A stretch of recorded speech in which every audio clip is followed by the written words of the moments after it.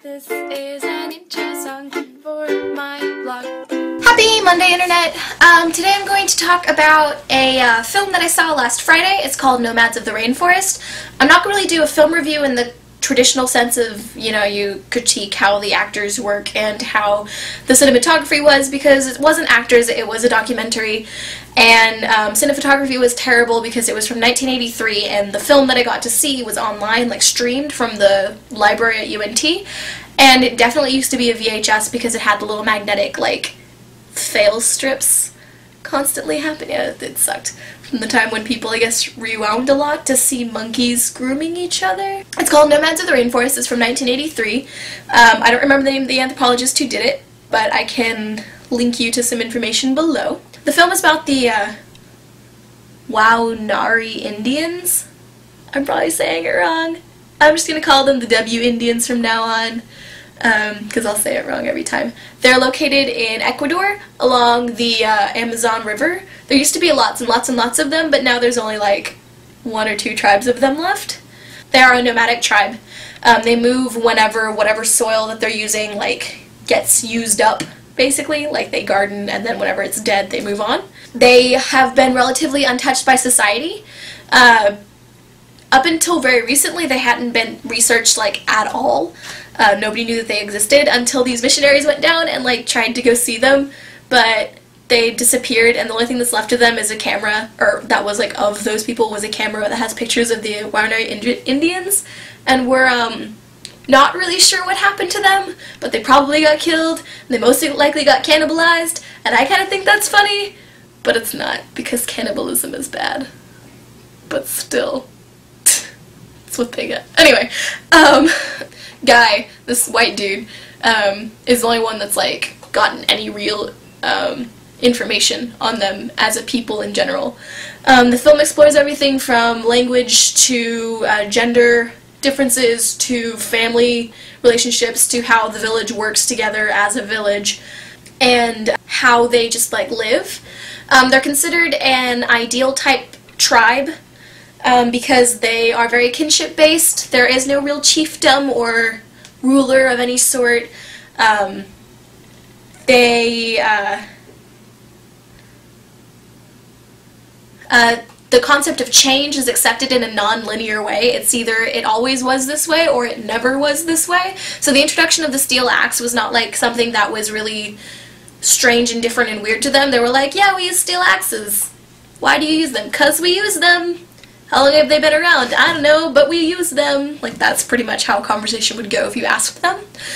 And they also have, like, no real want to expand beyond whatever world they have. The, wor the world that they inhabit, that they live in, is the only world to them. There is nothing outside of it. And they don't have any want to, like, go out and explore. Like, this is okay. They're chill with it. They're also considered a Stone Age tribe because they use stone tools and not steel tools, and for some reason they have a steel axe. That really doesn't ever get addressed. We don't know how the heck they got it. But they have it, and it's like the only steel item they have. And they have a knife, too. That was it. I don't know how they got them. Maybe the, the dude gave it to them. I don't know. They used to be really, really, really violent, um, killing their neighbors and obviously those missionaries, but they, for some reason, don't feel threatened by the anthropologist that's doing this particular study. Um, and it's not because he like looks like them. I mean, he wears clothing and they don't, and he's definitely like an Anglo dude, and like they're not obviously. So we don't know. It's kind of theorized that because there aren't as many of the of that particular type of Indian around, they like haven't had the need to be violent lately. So now they're just sort of like, let's survive and yay survival. There is no formal education. Everything is informal and learned as they go along. Um, one cool thing that comes from stuff like that is the stuff that they learn is things that they need to know, not unnecessary things. So like an average Waunari Indian child can probably tell you what kind of monkey was around this particular tree based off of its urine smell, but they can't tell you what 2 plus 2 is because why do they need to know that? It's not a thing that they need to know. They don't know who Einstein is, they don't care. Everything is equal, though, even between adults and children. Like, because you're an older person doesn't necessarily mean that you're going to get a lot of extra attention, and just because you're a child does not mean that you're going to be coddled. The children are treated like tiny adults. Um, but the cool thing is, is they're encouraged through everything that they do, like a lot more than adults would be, and that's about the only coddling they get. Uh, for example, in the film, these two kids go out and they're like hunting, and then they get this teeny tiny bird, and they bring it back for the for the family to eat. And the grandmother's like, "Oh, good job! You brought us a bird." Meanwhile, like their father brought home some 60 pounds of meat. Um, another cool thing about this particular tribe is everything is very, very um, share all the things, always share, share everything, yay. Um, anytime meat is brought back to the village, it's shared with the entire village. Anytime fruit is brought back, it's shared with the entire village. The entire garden is shared with the entire village. Um, the only thing that's different is that um, vegetables that are picked from the garden will be prepared individually, while meat will be prepared, meat and fruit will be prepared like as a group and spread out equally amongst all of the families. One thing that I thought was really cool is that their language doesn't have the word for work in it. They have action words like if a guy is out and he's working trying to fell a tree, they say that he's chop chop chop chopping. That's what he's doing. He's chopping. That's all he's doing. He's not working. He's chopping. They have a really really like proactive and positive view on life and I actually kind of think that that might be one of the reasons why is because they don't have a word that has such a negative connotation for things that they have to do. There's not a word for chore, there's not a word for work, there's not a word for job. It's just what they do.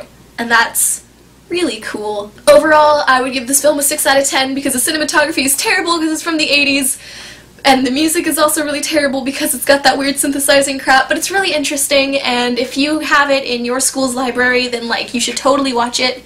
Um, if you go to UNT, here's a link for it so you can watch it. Um, otherwise, I will see you all on Friday.